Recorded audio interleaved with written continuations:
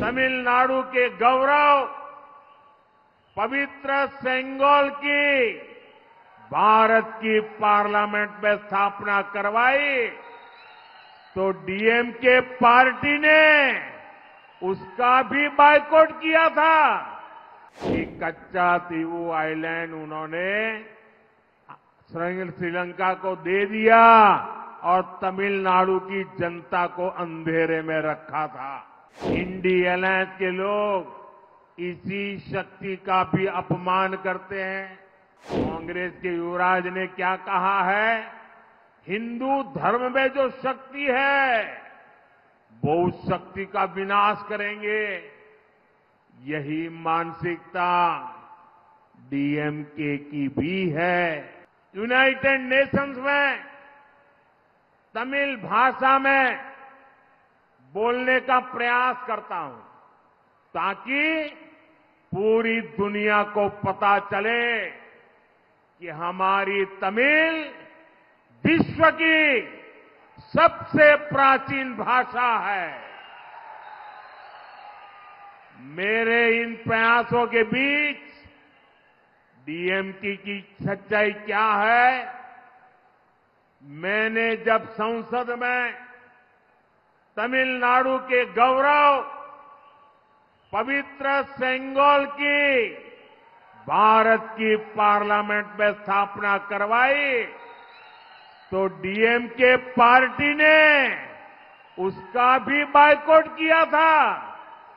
साथियों, कांग्रेस और DMK party के एक और पाखंड की चर्चा आज पूरा देश कर रहा है। जब कांग्रेस की सरकार थी, तब कई दशक पहले इन लोगों ने कच्चा तीवू आइलैंड श्रीलंका को दे दिया। किस कैबिनेट में ये निर्णय हुआ? किसके फ़ायदे के लिए फैसला हुआ? इस पर कांग्रेस की बोलती बंद है। बीते वर्षों में उस आइलैंड के पास जाने पर तमिलनाडु के हज़ारों मछुआरे गिरफ़्तार हुए हैं। उनकी बोटें गिरफ़्तार कर ली गई है। गिरफ्तारी पर कांग्रेस और डीएमके झूठी हमदर्दी दिखाते हैं, लेकिन ये लोग तमिलनाडु के लोगों को ये सच नहीं बताते।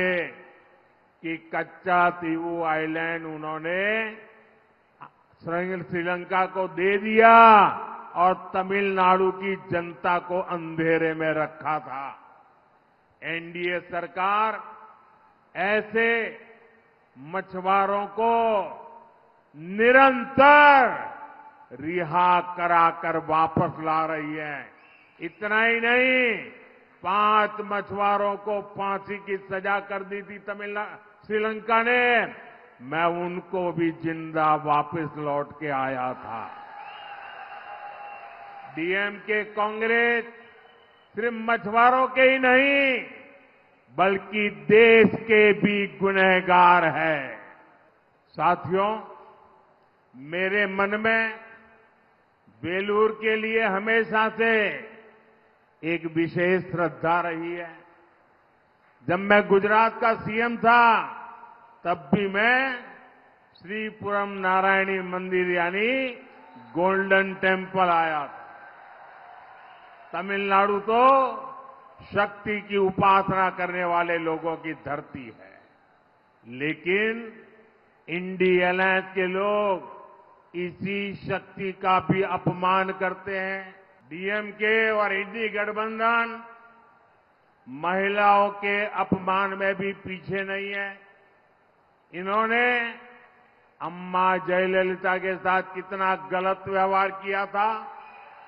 आज भी डीएम के नेता महिलाओं के अपमान में कैसी कैसी भाषा बोलते हैं, ये तो यही वेलूर के लोगों ने ही देखा है। बीजेपी को एनडीओ को दिया आपका आशीर्वाद सनातन शक्ति की रक्षा करेगा और महिलाओं का सम्मान भी बढ़ाएगा।